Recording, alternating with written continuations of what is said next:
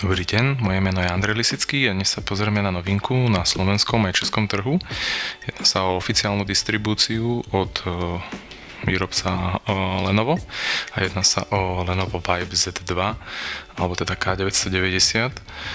Mm, dodáva sa v takejto čiernej krabičke, kde hneď môžeme vidieť, že v zariadení sa nachádza 2K displej a dokáže natáčať 4K video s optickou stabilizáciou.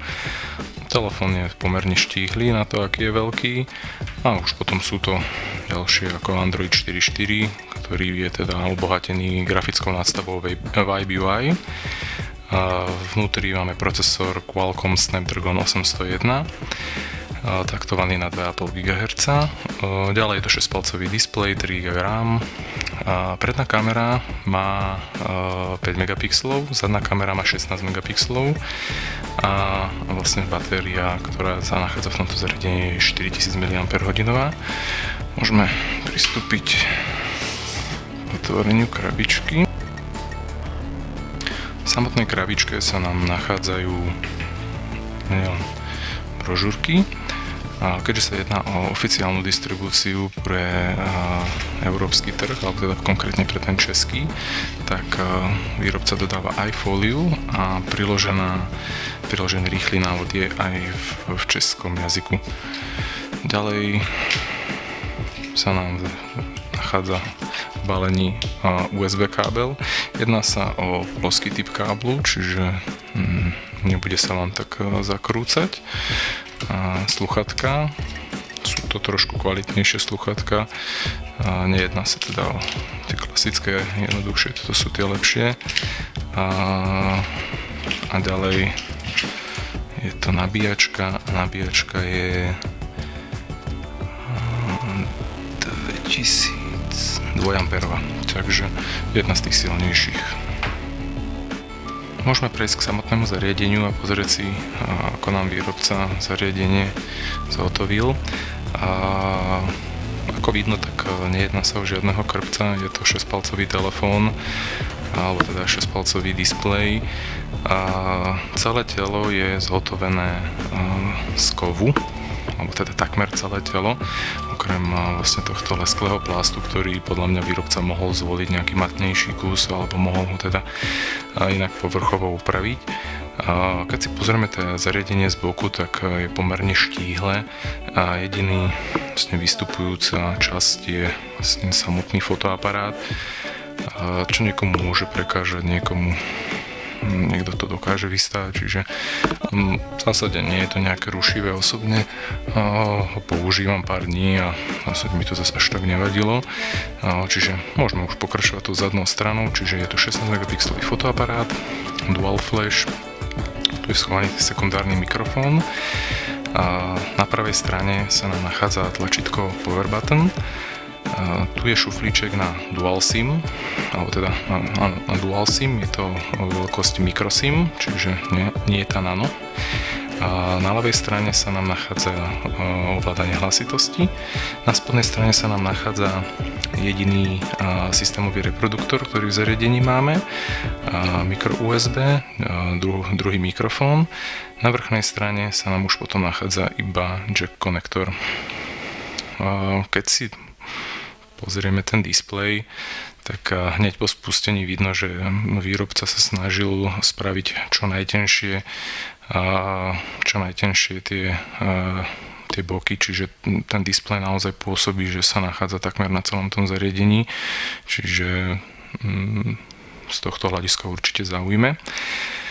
Hneď z úvodnej obrazovky si môžeme všimnúť, že máme ako vlastne už viac menej u všetkých výrobcov možnosť priamej voľby alebo vojsť do určitých aplikácií hneď zo začiatku. Čiže je tu aplikácia telefónu, SMS-iek a fotoaparátu.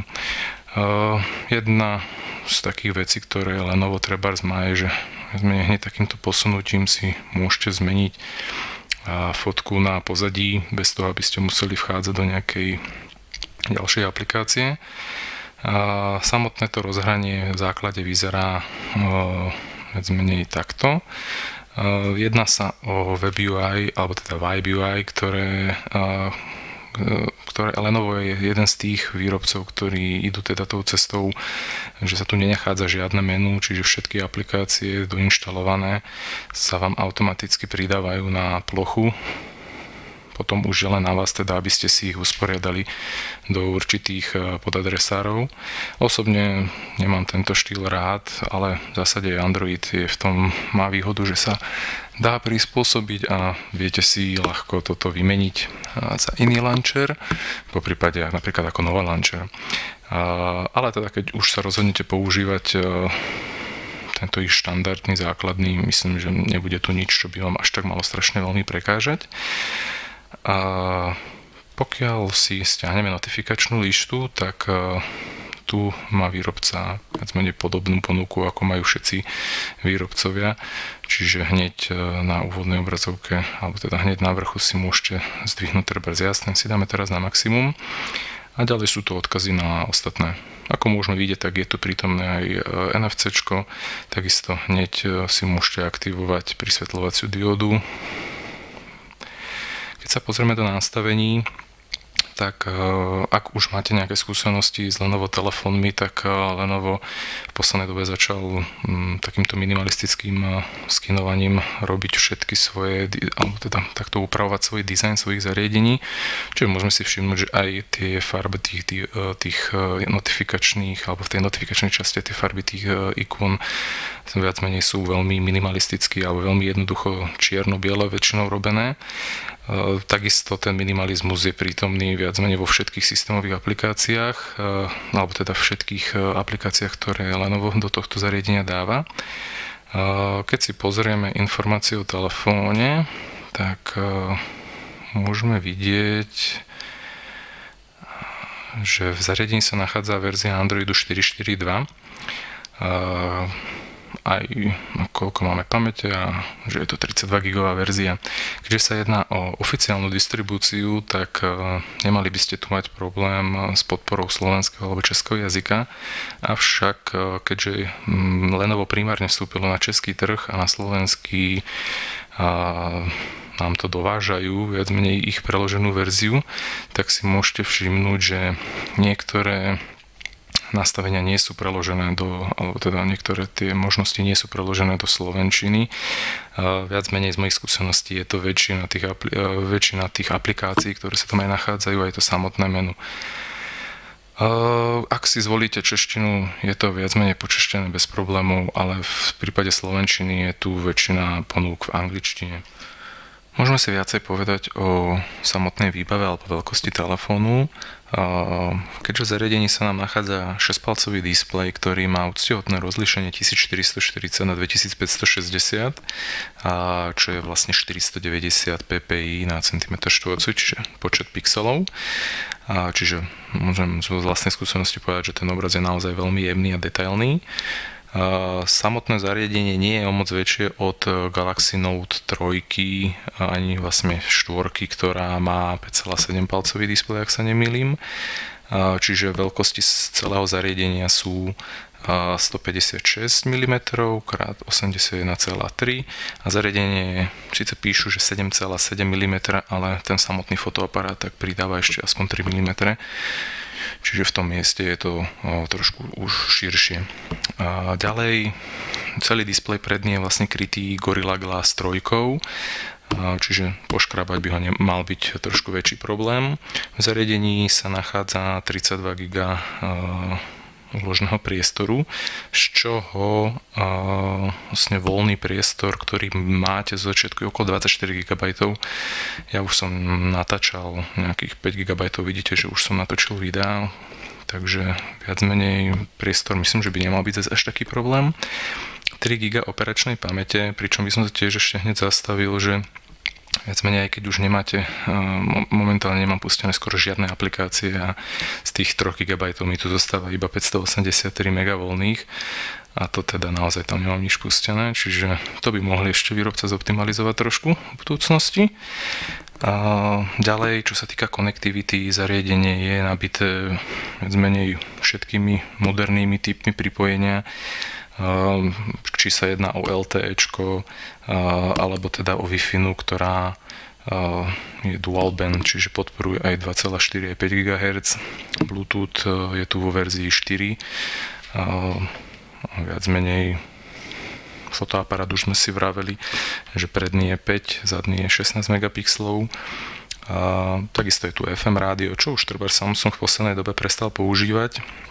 A takisto pri GPS navigácii e, je prítomná podpora aj pre GLONASS, čiže nejedná sa len teda o americké, ale aj o ruské satelity, čiže presnosť by mala byť o to ešte vyššia. E, v zariadení sa nachádza Snapdragon 801, e, grafický čip je tam Adreno 330.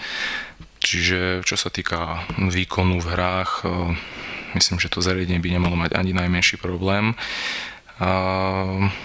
Osobne Zatiaľ som bol spokojný so všetkým, aspoň čo sa týka výkonu, čo už si aj potom ukážeme v tých testoch. Môžeme sa trošku bližšie pozrieť na e, samotný ten launcher, ktorý sa nachádza v tom zariadení. A ako jedná sa viac menej o generačnú miernu generačnú zmenu, čo sa týka grafiky, je to viac menej podobné pokiaľ ste mali skúsenosti s predchádzajúcimi zariadeniami od Lenova, konkrétne treba aj taká 910, čo bol teda predchádzajúci model, tak um, Lenovo je tiež jeden z tých výrobcov, ktorý vám viac menej dovoluje si po grafickej stránke a prispôsobiť ten, tie vizuálne veci, čo sa týka ikon, čo sa týka nejakej tej kompletnej témy. Jediná taká zmena oproti treba z tej čínskej verzii, ktorá sa k nám nedodávala doteraz oficiálne, tak mm, v čínskej verzii ste mali o mnoho väčšie množstvo stiahovania tém. Tu viac menej ste obmedzení na 6 tém, ktoré tam máte v základe.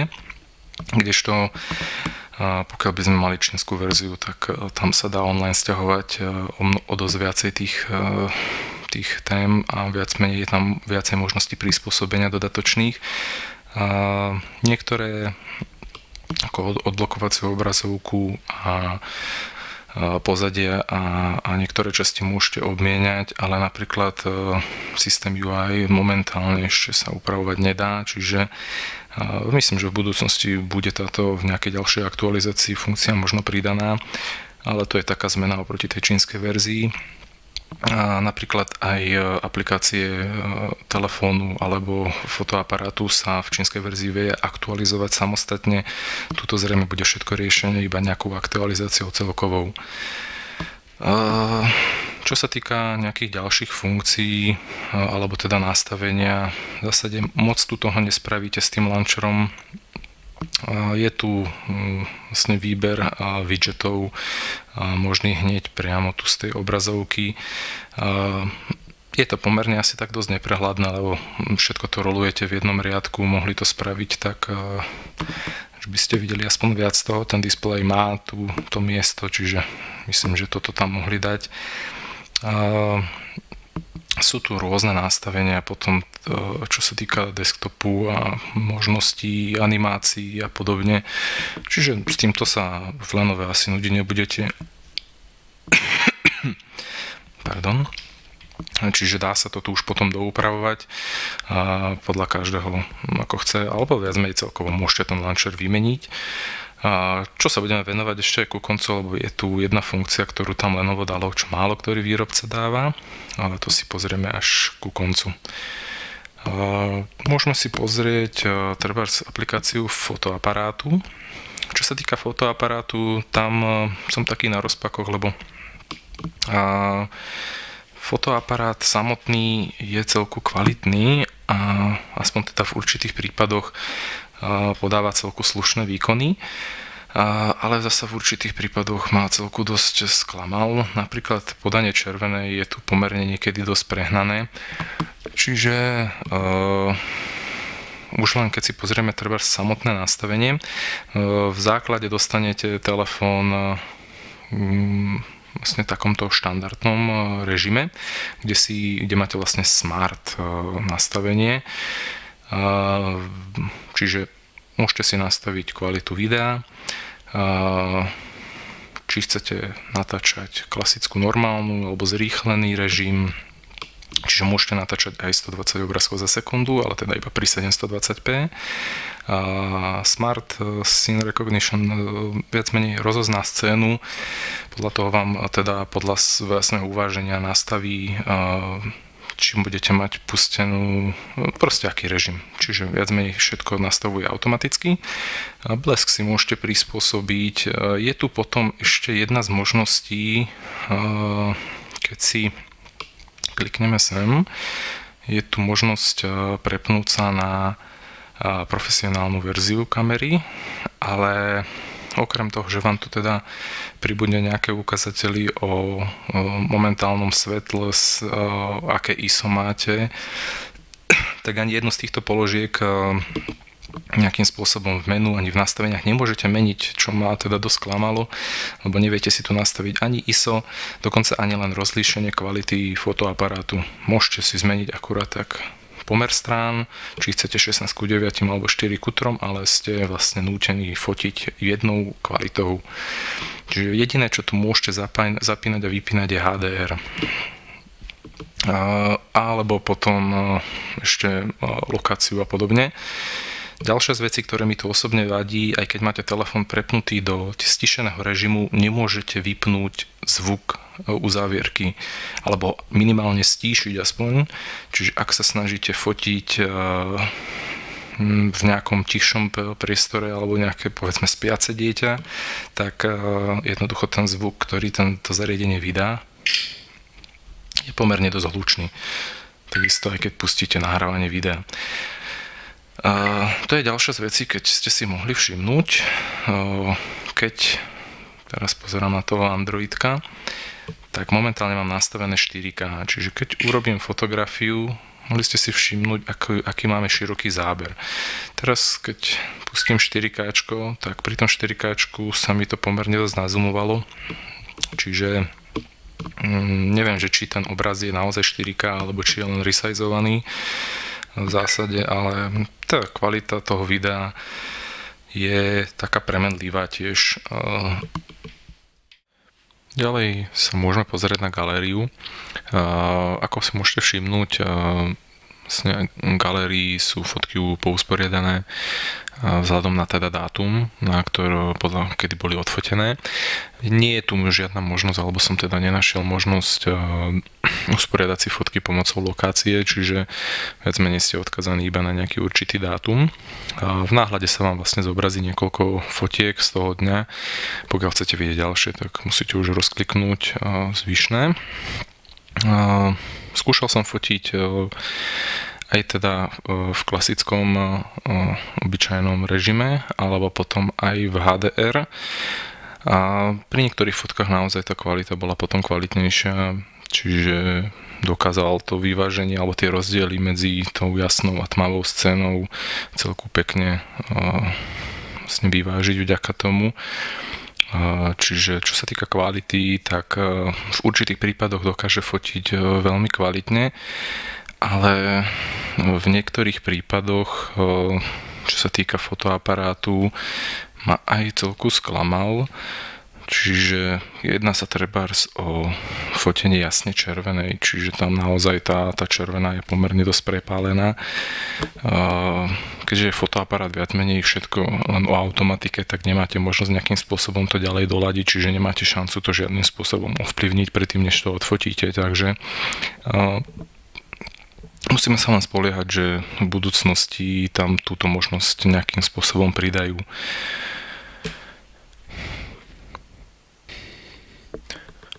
Môžeme si ďalej pozrieť systémové nastavenia, alebo teda aké funkcie sú dostupné v systémovom nastavení.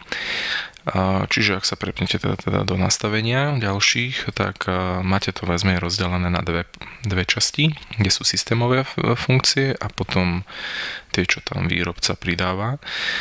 Sú tu také dostupné gestá, viac menej niektoré veci, ktoré mm, sprvu sa môžu javiť ako dobré, ale mm, potom si môžete zistiť, alebo teda časom užívania zistíte, že vám skôr prekážajú, ako je treba možnosť e, deaktivovať e, home button, pokiaľ máte telefón v horizontálnej polohe.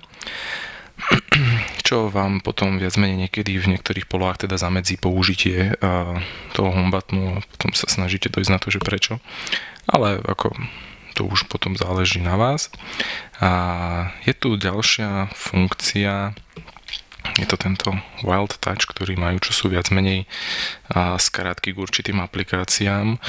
Jedna z takých použiteľnejších vecí, čiže to už potom závisí na vás, či budete chcieť. Ďalej je tu možnosť e, zapnúť si vyššiu hlasitosť e, zvonenia, pokiaľ máte zariadenie vo vačku, čiže zariadenie automaticky rozpozná, že je vo vačku, takže bude, aj keď máte stíšené zvonenie, sa snažiť e, zvoniť hlasnejšie. Ďalej je tu možnosť automaticky po zdvihnutí toho telefónu, aby stíšilo to zvonenie Čiže ak vám telefon máte na, položený na stole, začne vám zvoniť, ako náhle uchytíte, stíši sa.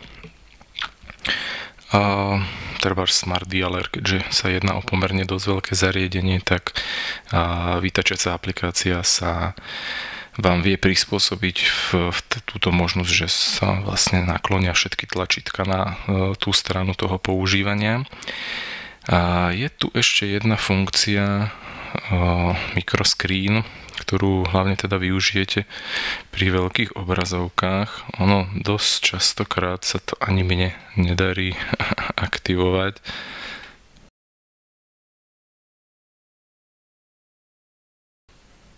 A, tak. Čiže menšie C. Čiže automaticky sa vám takto zmení na vlastne celá pracovná plocha na obrazovke, čiže môžete bez problémov potom, ak máte problém dosiahnuť e, vrchnú časť. Dokonca si viete toto ešte ďalej zmenšiť, čiže mm, môžete s tým telefónom potom pracovať takto v minimálnej v minimalizovanej verzii. Tiež možno funkcia pre niekoho dobrá, ale asi osobne ja by som ju nepoužíval. Čo sa týka displeja samotného, musím povedať, že ja som viac menej spokojný s podaním aj farieb, aj e, celkovo. Jedná sa o pomerne kvalitný e, IPS display a aj čo sa týka viditeľnosti na priamom slnku, tak e, dneska pomerne dosvietilo, behali sme celý deň po zoologickej a vôbec som nemal žiadny problém s viditeľnosťou, ten displej je veľmi jasný, čiže s týmto som viac menej spokojný, a pozorovacie úly sú výborné, takže to z tejto strany mu nemôžem nič vytknúť. Čo sa týka toho zobrazenia, je tu ešte potom možnosť e, nastaviť si farebné podanie displeja, čiže viete si to tu prispôsobiť už potom aj podľa vlastného uváženia, čiže môžete si to doštolovať ako vám vyhovuje. Čiže jedna z takých podľa mňa celku vítaných vecí, lebo nie každému vyhovuje farebnosť ako chce, čiže sa toto len novo chválim. Ďalej, čo sa týka nastavenia, tak je to naozaj viac menej čistý Android, čiže sú tu všetky tie možnosti, ktoré máte momentálne v každom z tých Androidov. A čiže naozaj všetky tie funkcie viac menej pridané, ktoré majú, sústredili sem do toho jedného menu.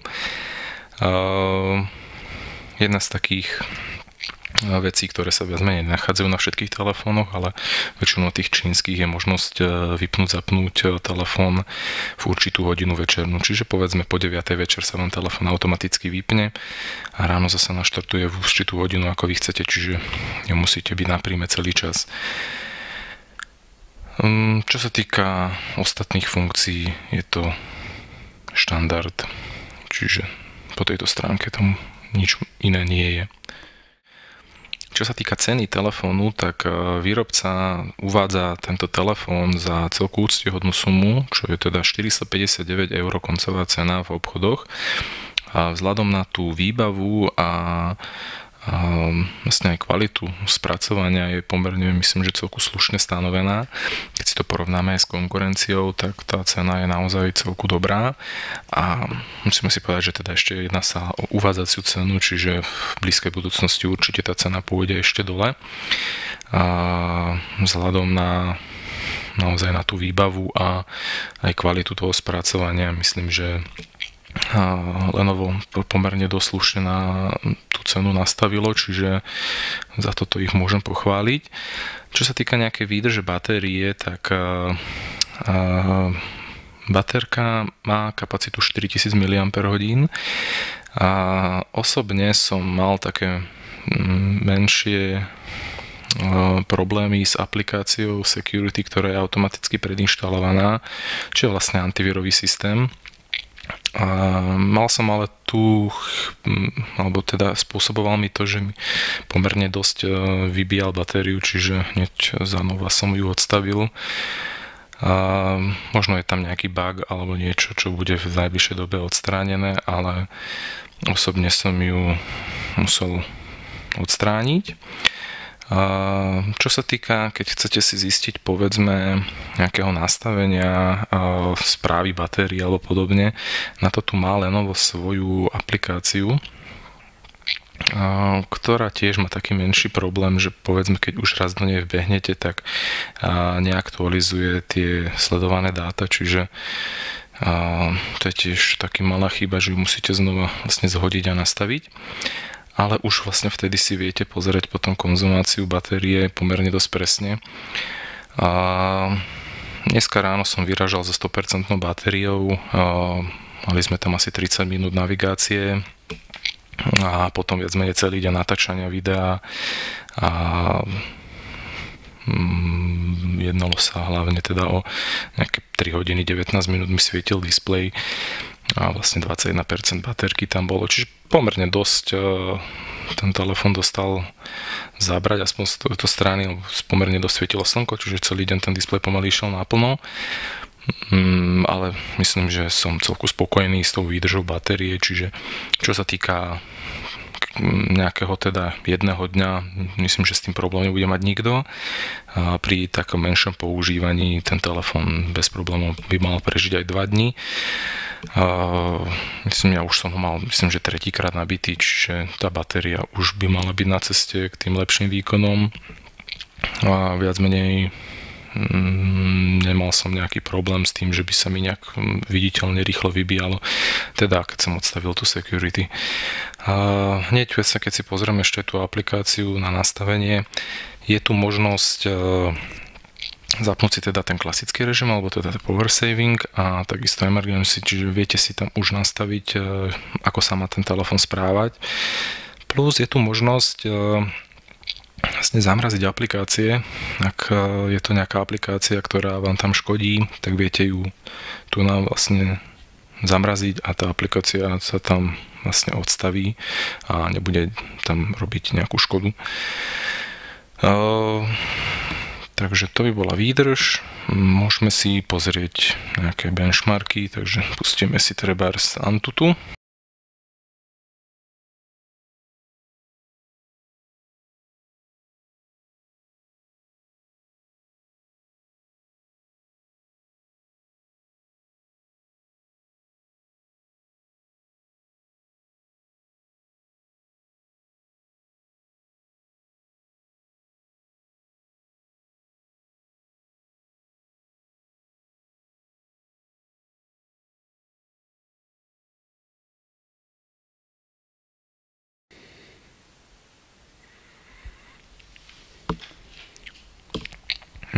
Môžeme vidieť, že zariadenie sa dosiahlo výsledok teda 38 376, čo teda vôbec nie je zlé.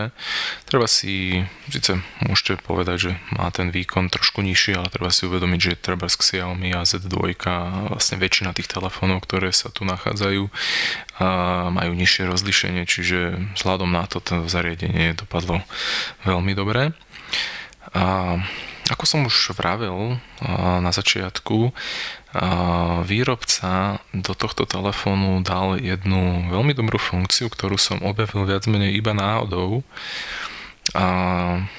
Je to jedna z vecí, ktoré niektorým užívateľom môže dosť prekážať vlastne vizuálne prvky od Lenova a viac menej väčšina ľudí je, si kúpi povedzme zariadenie, ale má problém s tým e, spracovaním po, po tej vizuálnej stránke a vlastne viac menej majú radšej Nexus zariadenia alebo teda zariadenia s čistým Androidom.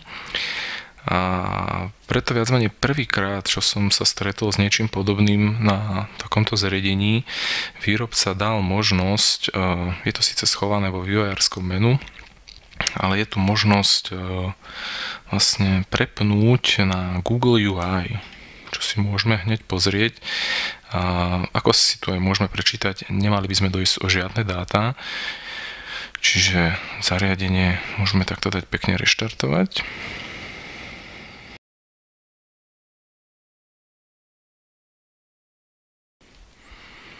A po pár optimalizáciách videli ste, že pomerne dosť rýchle to bolo. A už si tu môžem vybrať z predvolaného Launcher 3, teda z klasického androidiackého a voilà. Mám v telefóne nainštalovaný mm, ako keby čistý Android, čiže mám tu pekne menu a zmenilo sa nám aj vizuálne spracovanie vrchného menu a takisto, keď si pozrieme aj nastavenia, a viac menej došli sme o tie funkcie, ktoré tam výrobca pridával, ale to sú zase veci, bez ktorých sa dá kľudne podľa mňa prežiť. Čiže ako si môžeme všimnúť, vyzerá to tu ako čistý Google. A ak vám to nevyhovuje, alebo sa chcete viac menej vrátiť naspäť, tak zasa šup vývojárských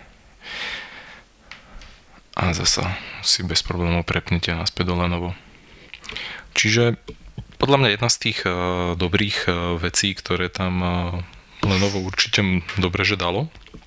Čiže veľa ľudí možno bude práve používať toto čisté Google UI a dosť možno, že ja možno tam prepnem postupom času, ale v zásade Lenovo každú aktualizáciou pomerne dosť veľa funkcií pridá do toho vizuálneho spracovania alebo celkovo obmienia aj túto grafické spracovanie toho menu, čiže myslím, že zo strany Lenova sa ešte máme na čo tešiť, čo sa týka aktualizácií. K910 tiež prebehla pomerne slušným vývojom, čo sa týka po grafickej stránke, čiže myslím, že tu ešte sa máme na čo tešiť, e, aspoň čo sa týka nejakých ďalších funkcií. Čiže z mojej strany môžem toto zariadenie po väčšine hodnotiť kladne. Keďže je to dual SIM, tak aj kvalita toho displeja je tam pomerne na vysokej úrovni. Má to všetky typy konektivity, ktoré momentálne asi sú dostupné. Čo sa týka batérií, myslím, že tam by problém nemal byť. Jedine také väčší problém môže byť pre niekoho e, samotný rozmer toho zariadenia, keďže sa jedná o pomerne veľký kus, keďže je to 6-palcový displej, ale vzhľadom na to, že je to 6-palcový displej, tak tá veľkosť toho displeja nie je o moc väčšia, treba od e, tých 5,5 palcov, ako je OnePlus One, alebo K910, alebo povedzme Samsung S5 už ten fakt ten rozdiel je tam pomerne dosť minimálny aj vďaka tým tenkým okrajom, ktoré tam výrobca a celku slušne spravil, čiže to zariadenie je naozaj jeden krásny veľký displej. Výkonovo tam som sa nestretol s nejakým zaváhaním, a čiže po tejto stránke ja myslím, že možno nejaké optimalizácie ešte vykonané budú v budúcnosti, ale osobne zatiaľ nemám žiadnu výtku voči tomu, ako sa tento, to zariadenie správa. Jedinú, jedinú vec, čo osobne som nebol spokojný, je to nastavenie toho fotoaparátu, alebo teda tie funkcie toho fotoaparátu, čiže to by som prijal, keby tam bolo viacej možností nastavenia, keď už teda to nazvali profesionálne, profesionálna verzia, tak nech je tam teda možnosť nastaviť si aspoň na ISO, čo zmení všetci výrobcovia vrátane LG alebo Samsungu na svojich zariadeniach majú a hlavne teda na volejkových lodiach. Čiže keď už, tak by som tam prijal možnosť nastavovať tieto funkcie ale celkovo mm, dávam palec hore. Z mojej strany je to všetko na dnes. Pokiaľ sa vám video páčilo, môžete ho lajkovať. Ak sa vám páčia videa, môžete si ma subscribenúť, čiže v budúcnosti budete mať aktuálne, hneď budete vedieť o nových videách. Ešte bude v samostatnom videu, budú nejaké vzorky videí, ktoré som natáčal, možno budú aj odkazy na nejaké fotografie v plnej kvalite, čiže môžete si to pozrieť. Minimálne tie videá budú nahraté samostatne. O tom je to na dnes všetko, majte sa pekne, dovidenia.